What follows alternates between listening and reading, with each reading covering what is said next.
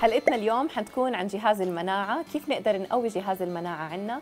إيش أنواع الأكل اللي بنقدر ناكلها عشان تقوي المناعة بجسمنا؟ كيف نقدر نحارب الأمراض اللي هي هلأ عم بتكون أكثر إشي منتشر بسبب ضعف جهاز المناعة اللي إحنا عنا؟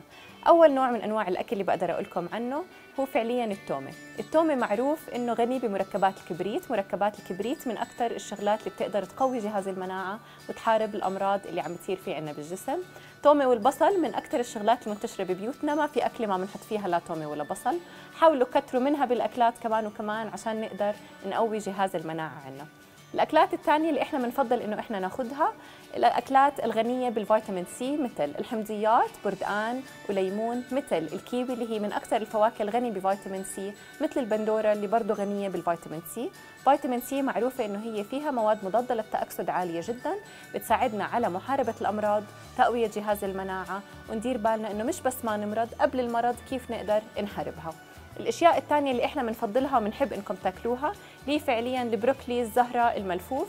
هي من الأنواع الأغذية أو الخضروات الغنية جدا بالمواد المضادة للتأكسد اللي برضه بتساعدنا على تقوية جهاز المناعة وتخفيف إصابتنا بالأمراض لقدام. طيب بس هدول الأكلات ما في أشياء معينة إحنا بنقدر ناكلها نقوي جهاز المناعة تاعنا غير هيك. اللبن بقدر أقول لكم عنه. هو من أكثر الشغلات اللي إحنا بنفضل إنكم تاكلوها لأنه غني بالبروبايوتكس واللي هي بتنشط عندنا البكتيريا النافعة اللي موجودة بالأمعاء. منها بنقدر نساعد الجهاز الهضمي إنه فعليا يشتغل بطريقة طبيعية جدا نقلل من اصابتنا بالأمراض.